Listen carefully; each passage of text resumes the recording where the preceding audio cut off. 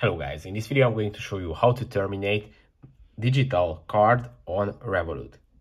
So basically you just have to open the app, go to the top right corner of the screen where you can manage your cards, go to the digital card, go to settings, and here on the bottom of the screen you can see the terminate card, which means that it is going to dispose of this card and you won't be able to use it again.